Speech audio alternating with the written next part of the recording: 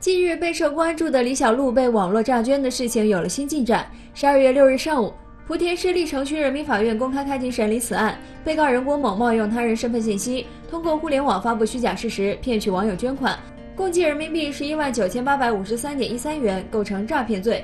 判处有期徒刑三年九个月，并处罚金一万元。事情的起因是在今年的三月二十六日，李小璐收到一个微博名为“希望盼望宝贝康复”的网友的求助。